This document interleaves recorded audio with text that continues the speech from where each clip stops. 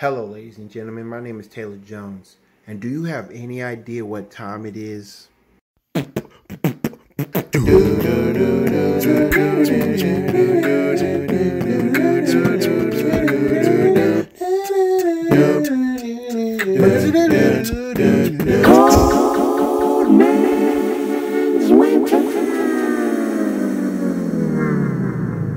Last time on Cold Man's Winter, Taylor Jones was telling a story about what it's like for Tom to live in a society where everybody don't care much about safe sex anymore. And through all the hardships that Tom had been dealing with, he started to realize that when he had a nightmare, he had no other choice but to leave Mustard, California behind. And due to his family, mostly his mother and father and his older sister Latrice, calling him a traitor, and all all of the town, including the police officers, started to harass him, make fun of him, especially when Jubilee started to kick him out the house, knowing that he that he was scared, but he wasn't scared. He knows that having sex unprotectively was wrong, but the whole world, the whole town turned on him still. So, how will Tom survive, especially since he moved out of Mustard, California to South Central Los Angeles, especially since it's July 1994. And now, ladies and gentlemen, we present to you Cold Man's Winter Safe Sex Part 2. Hey, what's up, everybody? My name is Taylor Jones, and welcome back to my YouTube channel, TC Jones Edits. And right now, what you're about to watch is part two of Safe Sex from Cold Man's Winter. Now, last time I told the story, I stopped at a point where Tom left his family behind from Mustard, California, and he moved on to South Central Los Angeles, and everybody was betrayed. I mean, was betray betrayed because of Tom. Well, actually they weren't. They hated on him. But remember, this was July of 1994, and with with only one month remaining, everything started to go completely downhill for Mustard, and people they still hated on on him, on Tom and Jubilee. They they took her side like, man, he's man, Tom's such a sissy, man. Why can't he just just get it on? Like, what the heck he waiting for? You know what I'm saying? But unfortunately, Tom, he just he just couldn't take take a chance. He couldn't take a chance going back to South, I mean to Mustard. But while things were going out of out of hand, he just moved on. He started taking good care of himself. He actually is doing a good job. He even got prepared for UCLA in a month. Now, this time, August, August 1994, he attended UCLA, and everybody who actually left Mustard to go to go to that same school as Tom did, some of them recognized him for being considered the sellout, all because his girlfriend Jubilee, and even though all the town this this this spat on on his image, like peed on it and stomped it on his reputation. Some people were, were questioning him like, is this true? Tom had no other choice but to say, yes, it's true. Even though he was still hurt, he dealt with depression, but he kept kept going forward. He decided, you know what? Why should I be depressed? What am I waiting for? Like, why am I not breaking up with Jubilee? And he just like focused on his homework. He's focused on his life, trying to avoid everything that went down. And as for Jubilee, she was just fronting, faking the funk and all that, having her victorious reign. And all of a sudden, things got out of hand. Matter of fact, even when it was Labor Day weekend, Tom never went back to his family. But But instead, he actually did went back to Mustard. He picked up Denise and um Denise and Angela. Ah, crap! I keep forgetting. His little sister was Angela, and her bro- little brother was Tom. He picked them up, take them, took them to his new new location where he's living at because it was Labor Day weekend, and he made sure to uh, spend quality time with them because he cared about them because they were the ones that felt hurt about Tom's departure, mad at Latrice and their parents, and he even treated them to a movie. Made sure to drop him and drop them off on the very next day, which was like a Sunday. And they were just glad that his college journey is starting off smoothly, even though freshman year can be a pain in the butt. But not only that, while Labor Day weekend was taking place, one of Jubilee's longtime friends, Suzanne, she actually drove by Tom's new apart apartment in South Central a couple times. Now, when the first first day when he started living there, he saw a convertible, a 1964 Chevrolet convertible, Impala, that is, a 6'4 Impala, driving by. And no no hydraulics, but rolling on D's, Dayton rims. Oh man. Suzanne had a really nice car. Every time they drove, every time she drives by, she always sees Tom outside the apartment. Like, what is he doing? What is he doing outside his new apartment? Let's just say that he is practicing his basketball moves, like trying to get fit and overcome his issues. Other times he's just reading his Bible because he is faithful to God and he started to put his trust in him through bad times. But then all of a sudden, when Suzanne stopped by at Mustard, she spotted Jubilee and her friends having a good time, getting high, drinking alcohol, and all of a sudden Suzanne like, Jubilee, what is going on? And that's when Jubilee started to uh, get loose, like get out of hand.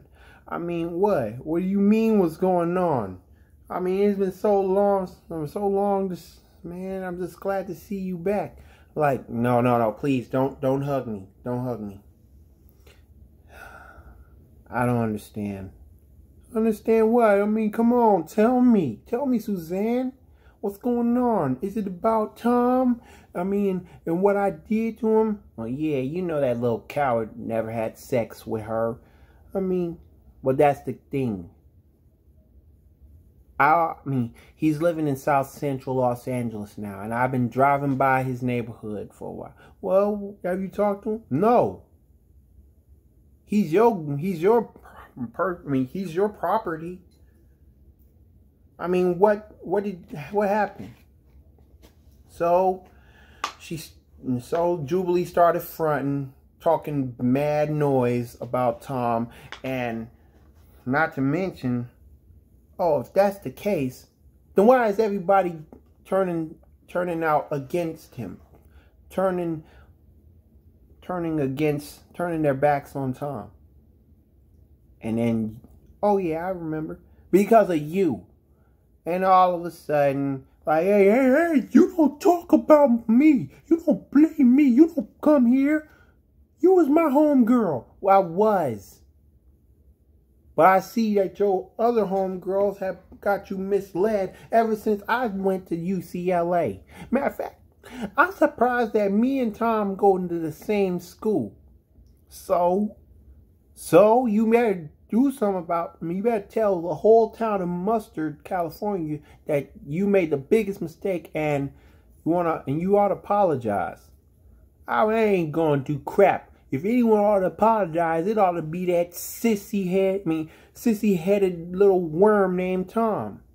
Unless you got mad feelings for him. How dare you? So, Suzanne slapped Jubilee back to reality, and all of a sudden, hey, hey, what, what the heck is wrong with you? How dare you put your hands on Jubilee? Jubilee.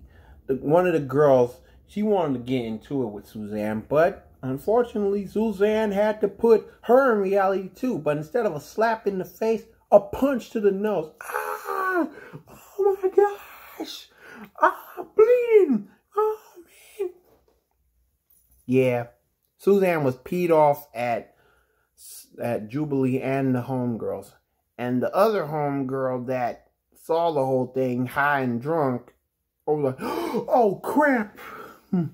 And she held the girl who got punched in the nose and bleeding.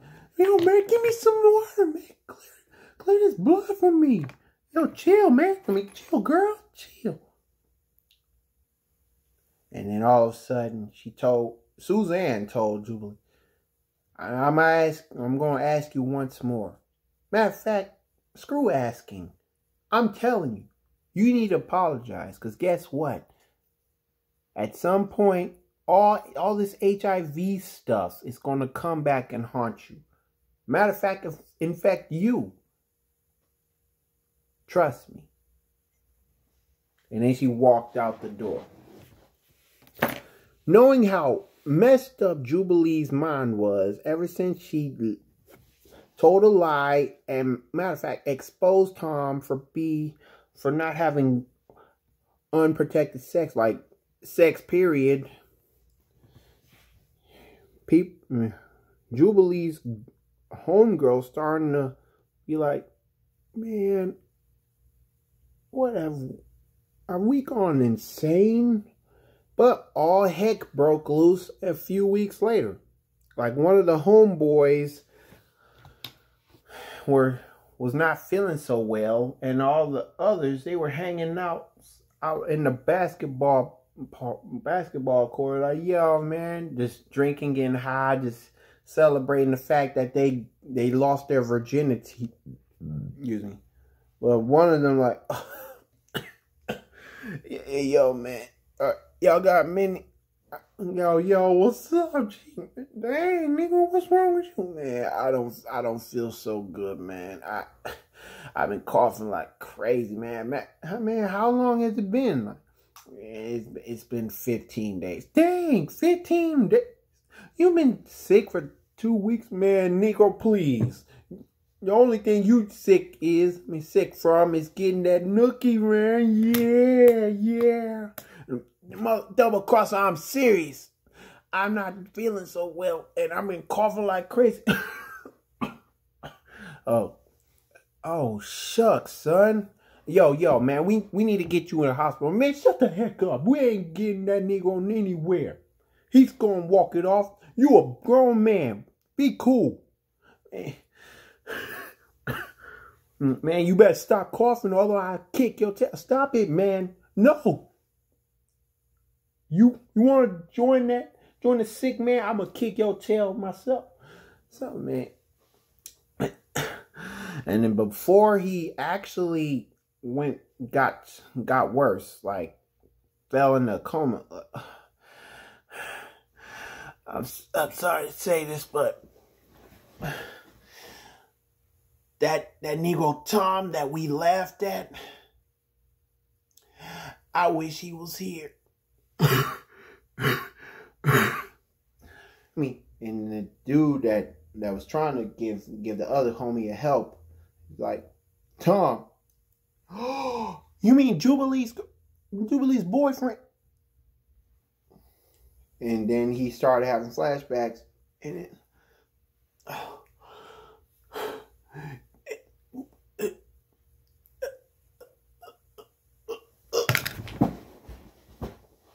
And then me, oh, me. And then all the homies will be like, oh my gosh. But the leader of the pack, the jerk, is like, man, man, it's a bull crap, man. Man, y'all, I mean, screw Tom. I mean, no, I mean, and so one of his was, man, man, screw you. You ain't trying to listen to him. Hey, yo, call an ambulance. Come on, get some help, man. I mean, and all of a sudden, madness got worse. Cause matter of fact, the whole whole crew that was at the basketball court, like girls were there too. After seeing one of the the guys get sick and fall into a coma, the ambulance came and let's just say that it took place around nine in the morning. And then all of a sudden, after after the details being ran, the dude that fell into a coma, all all the thugs that that was at the ball court, including the ladies, they actually went to the hospital, mustard clinic, I mean mustard hospital, and they found found out when the doctor told him that, well, what's going on? Is he good? No, he's in worse condition. I mean, it's fatal. What do you mean fatal? Like, what's going on? This this young man has been infected with HIV AIDS. what? HIV? Oh, that's bullcrap. And the leader just left, cursing like a sailor. Women started crying, and the homeboys, especially the one that was like, yo, yo, what's going on? He was like, oh my goodness. I mean, oh my goodness. And, but before things, but before the doc, I mean, like the doctor, he asked questions like, now, when y'all, when y'all talked to him, remember, what was the last thing that he said while he was coughing? Well, he's saying that, that he missed Tom. Tom. I mean, and and even the girls like Tom. Matter of fact, the whole doc. I mean, the whole people that worked in the hospital when when the dude is trying to help the guy that fell to the ground, he said when he said called Tom's name, he's like, wait a minute. Now you're not talking about the Tom that that we we starting to hate, turn our backs on, are you? Yes, that was the one. Well, wait a minute, wait a minute, wait a minute. Now who now who would who would who would do such a thing? Who would who would lead all of us to hate on Tom? And what for? Jubilee. His girl his girlfriend Jubilee. oh, he exposed Tom. Now, now, don't tell me she exposed Tom for not having sex with her. Yes. And all of a sudden, since he left, things starting to get out of hand and we're lonely now. Oh my goodness. We gotta find that Jubilee and matter of fact, we need we need to make her confess. Man. So everybody was starting to realize that ever since the dude told the doctors what happened based on the last talk that the guy had before he collapsed on on at the basketball court everybody's starting to realize that they did Tom dirty. Everybody did Tom dirty. Now he's in South Central Los Angeles going to UCLA. And some of the people that was in Mustard, they went to UCLA along with him. Even Suzanne, even though they never met. They just saw each other. They started to have hardships. everybody in Mustard starting to slip. But at the same day, the police chief, I mean no, the police officer that's been been hurting, assaulting the uh no, insulting Tom, he actually got too too too amped up. All because the silent partner had enough of his bull crap.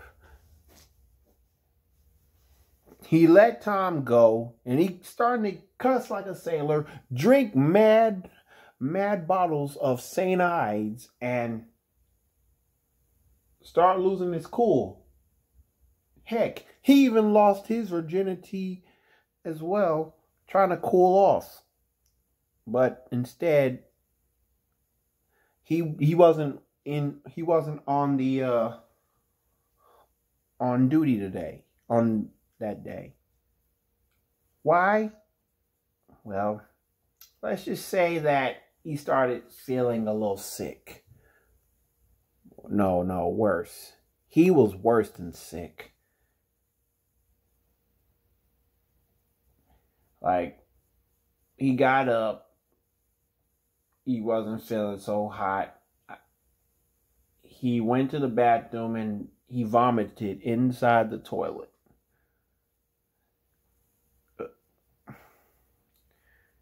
And not to mention when his partner, silent partner, knocked on the door. Hey, who the heck is it? I'm not, I'm not busy. But wait, no. Let me rephrase that. Hey, who the heck is it? And if you're the landlord, Forget it. Look, it's your partner. And I got some bad news. And then all of a sudden he's like, you know what? Screw knock on the door. I'm about to break in. Boom! So the silent partner broke in. And then all of a sudden he he heard I mean he's heard the the vomiting you and all of a sudden he opens the bathroom door like oh oh my gosh um mayday mayday officer down officer down we i need back i need an ambulance yeah the silent partner he decided to call for backup like ambulance because because the cruel cop he was getting sick and he didn't even feel so well. I mean, after he threw up a couple times, like extensive, like he was really sick. And he just fell over. Ugh. I mean, and he was sweating like crazy, profusely. And all of a sudden, at the same hospital, the so-called doctor from earlier, he explained that that cruel officer that beat Tom up, he had, man, if I had to mention what type of STD he got, it was worse than normal. It was worse than just HIV AIDS. He had gonorrhea. I mean, he was he he couldn't breathe. I mean, he couldn't breathe normally. He was sweating profusely. He had he had a major vomitation. It's like, man, things were getting out of hand. And all of a sudden, due to the fact that they were living in the uh, HIV AIDS pandemic.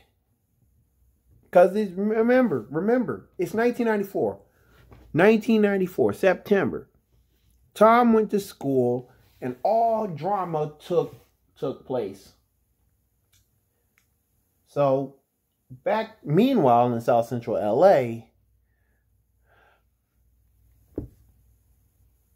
Tom he actually continued to uh do what he does the most. Work on paying his apartment, the paying the rent, keeping his apartment in shape, and then all of a sudden, one day, Suzanne decided to give Tom a visit.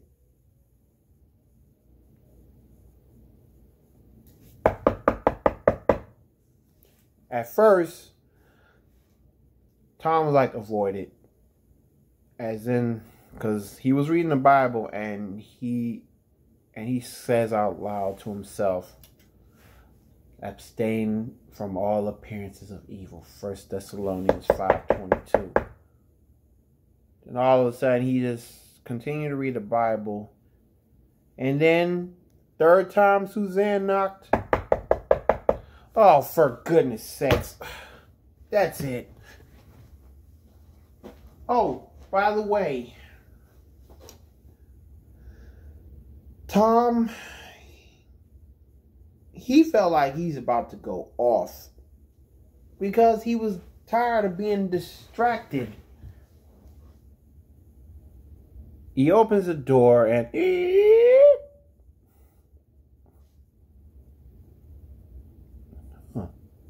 can I help you? Um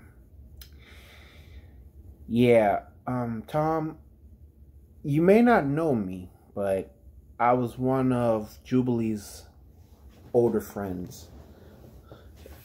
And I just came back from Mustard. What happened? Um, I knew exactly what went down, and I heard everything. And it got out of hand. And you know the police officer that that hurt you? Well, he's in the hospital. The doctor said that he has gonorrhea. I wonder why. Well, he had unprotected sex, and matter of fact, there was some other guy who uh, collapsed at the basketball court, and he's in the hospital too.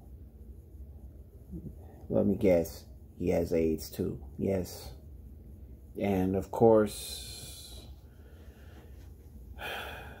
I feel like mustard Mustard owes you an apology. No, that's not the case.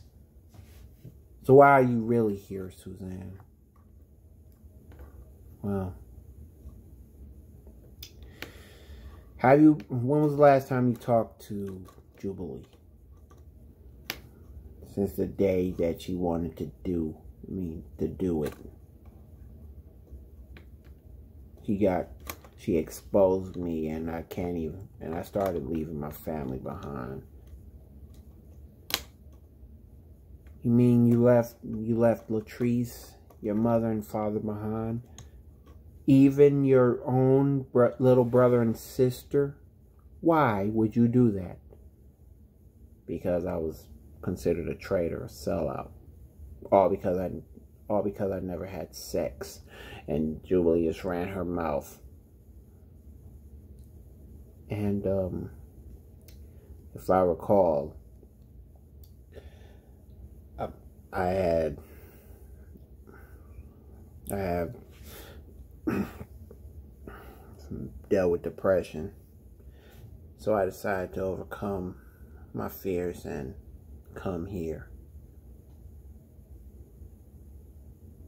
So Suzanne and Tom, they talked about about the issues that went down. And actually, due to Jubilee, I mean, I mean Jubilee's ex-friend Suzanne giving some advice, like, at some point you have got to come back to Mustard and tell Jubilee that it's over. Because the so-called HIV AIDS thing is taking place, and I'm afraid that you we would have been next. Yeah. So, three weeks later, it's like almost time for October, and things were getting out of hand for Mustard. But first, before he even thought of coming back to Mustard for the first time since July, he got his late uncle's station wagon cleaned up, fresh, fresh new paint, and windows are clean, new tires and all that. Trying to keep keep his car back in shape. And he even planned for Suzanne to come along because she he started to find interest in Tom. I mean, he's faithful and even at UCLA during lunchtime, they actually have their have their studying time together. Whether homework and or studying the Bible together, which they starting to uh, get on the right track of things, like stay faithful to God and stay educated. But for um for Suzanne, she was one year older. She was a sophomore. And they got along just fine. So one day at Mustard, Tom and Suzanne returned, and not to mention, the silent police officer, he greeted Tom back to Mustard. And the first place he got to uh, go to was his family's house. Angela and little Richard, Angela and Richard, they were so happy to see him again. His mother and dad and older sister Latrice, they were just so thankful. Thankful to see their son again. Like welcome them with open arms, saying, Thank you, Lord. try to make some peace, try to right the wrongs for Tom, and realize that if it wasn't for Angie and Richard for keeping him close by, they would have been better individuals. So after visiting Tom's family, Tom stopped by the hospital and paid condolences to the uh, actual one of the guys who actually passed away because his battle against AIDS it really didn't do any good. It didn't do any justice. But for the police officer that treated him like garbage, he saw he saw Tom along with Suzanne and Tom, I'm sorry. That's that was one thing he wanted to tell Tom after so long, after beating him up, knowing that the whole whole city of Mustard did him dirty. And now that he he forgave Tom forgave the police officer that treated him like garbage and beat the crap out of him. He actually had one last place to stop by. Well, actually two. First, the grave site where his uncle Luke and his grandmother were buried. Had a moment of silence planted a rose, placed a rose by their tombstones. And then all of a sudden, he stopped by to see Jubilee one last time. Well, well, well, if it isn't my boyfriend Tom and my ex-friend Suzanne, you can cut all that out, Jubilee. The whole world knew exactly what you did. The whole town. And I'm and I can't take this anymore. I can't take it anymore from you.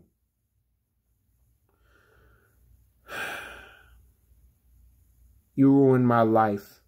All because I never had sex. You told everybody the the biggest mistake you've ever told.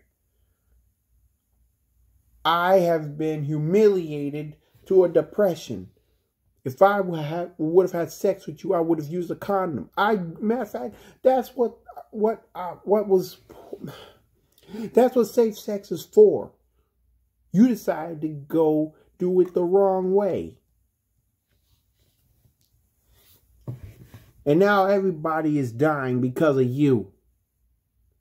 The police officer that beat my tail, followed by one of the dudes, he just passed away. And here we are in October, September going to October. You screwed me over. You screwed me up. But it doesn't matter anymore. Because guess what? Jubilee, I'm done with you.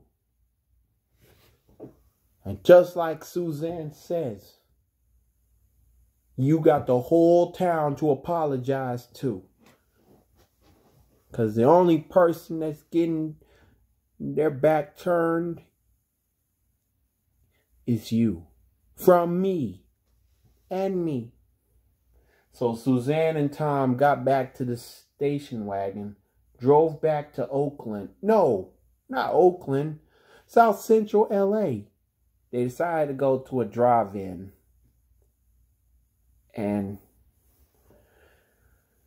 at the time, 1994, I don't know what movie came out in 94. But if I had to guess, mm, crap, I don't know. Let's come up with something. Oh, let's just say that they watched House Party 3. Yeah.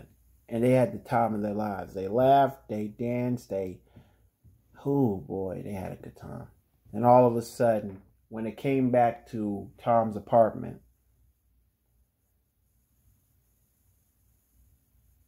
they actually parted ways. But Suzanne gave Tom a kiss goodnight said thank you for everything that you've done. And I am so proud of you for overcoming your fears to tell Jubilee that it's over. So they moved on. So throughout the years, from 1994 to 1998, Tom stayed faithful to the Lord, got educated, and Matter of fact, throughout the times, throughout those years, despite he still lived in Oak in South Central Los Angeles, he and Suzanne started dating. They expected to be honest with each other and work things out when things go wrong. Like patch up the the pieces and patch up the holes and try to provide. Even though they have been dating, they never kissed each other. Just a peck on the cheek is fine. And then after after 1998 graduation at UCLA, getting a bachelor's degree, Angela and Richard were so thankful for for their brother Tom, who always kept him going. Kept them going. Even Latrice got her act together. Rick and Tom's mom and dad, they were so thankful to to make it happen. I mean, to be supportive and learn what it means to be a true positive supporter, especially in the family. Meanwhile, Jubilee, well, she started getting into more trouble. Losing her virginity and making bigger bigger mistakes to the fact that she got herself killed. Well, actually, she got herself killed in 1996. And Tom didn't even care about going to her funeral because he was over with Jubilee.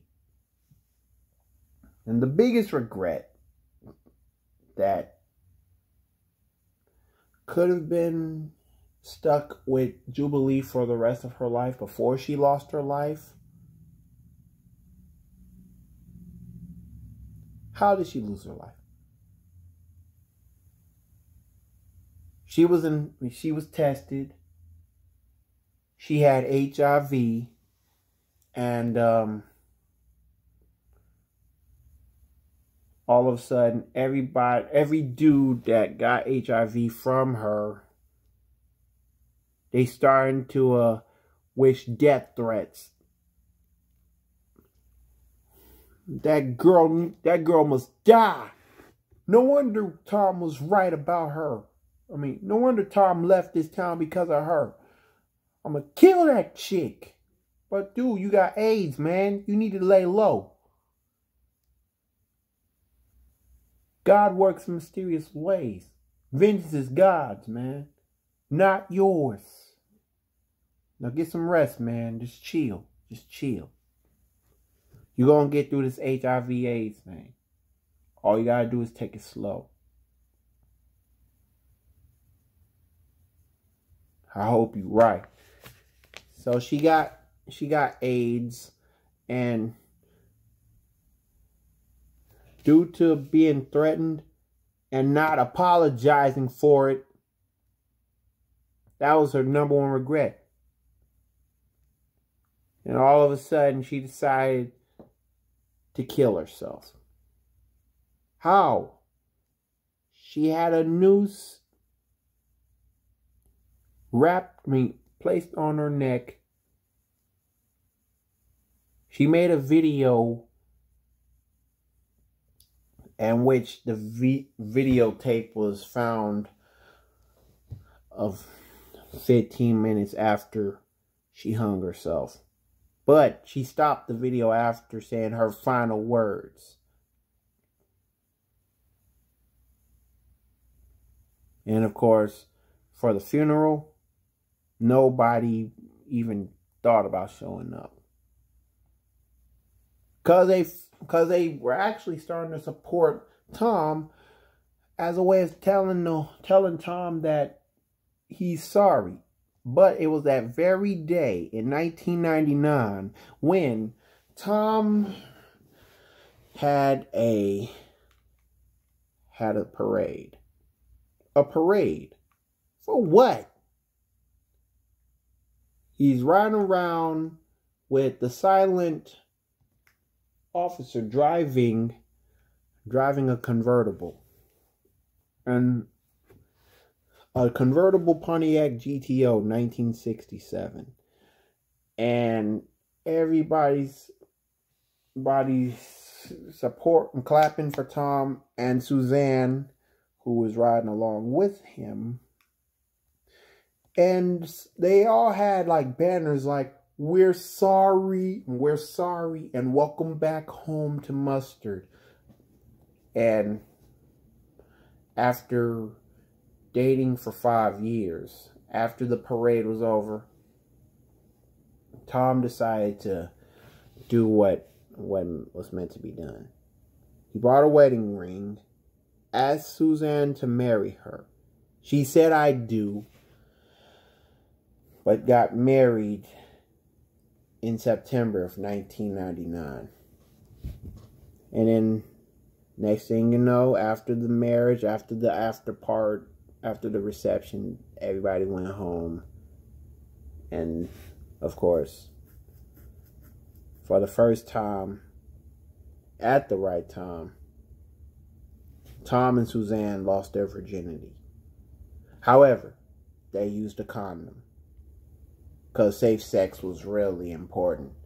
And they actually were thankful that they waited till it was the right time.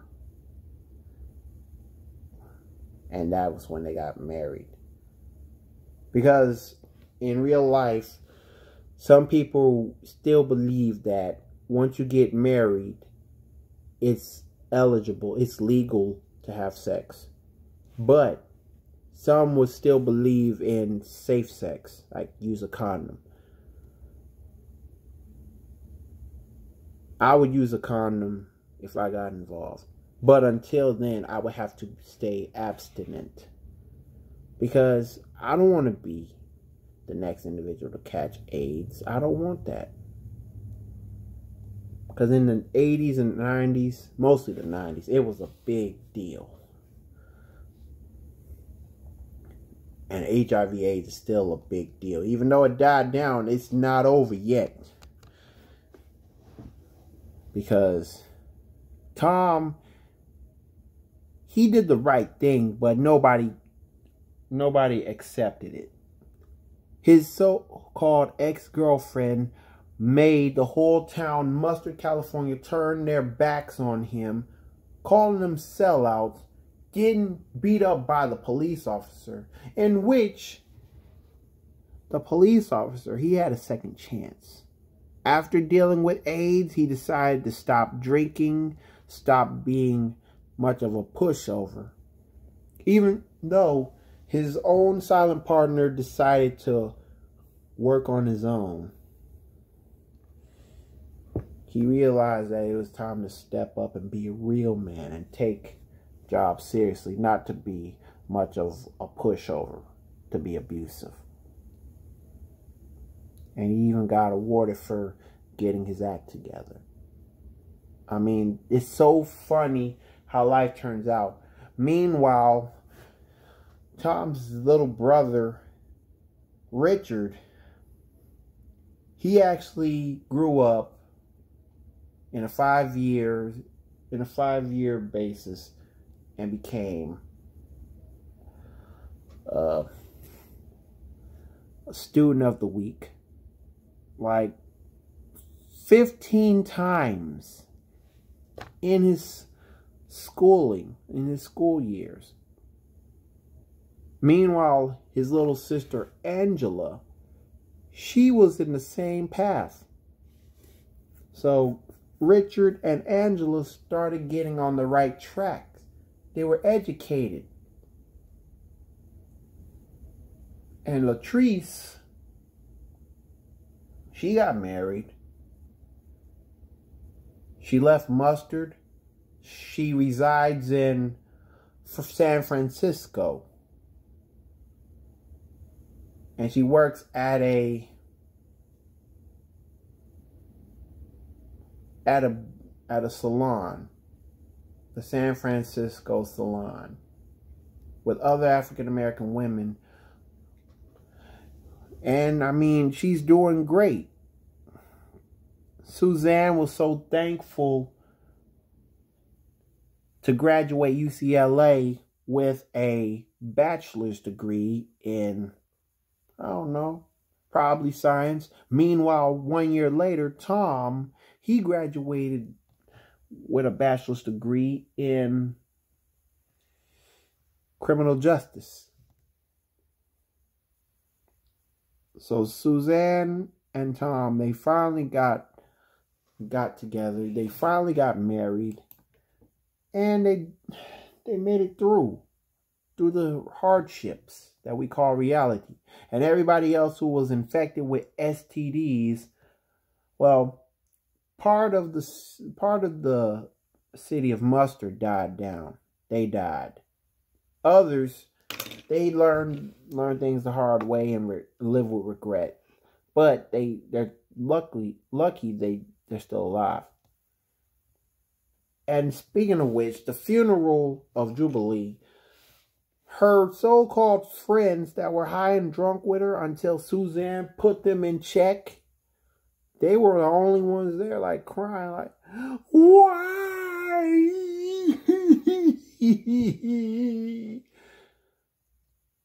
no, and they ain't got no future in them.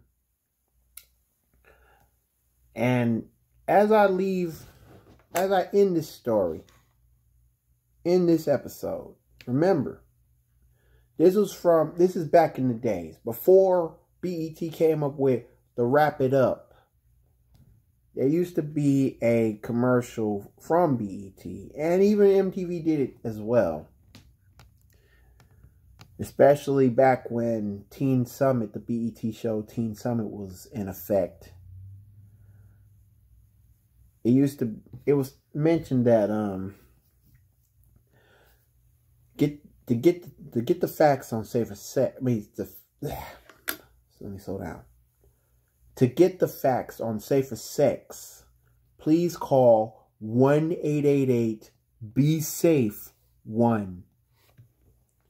That was that was one of the PSAs about safe sex that I remember.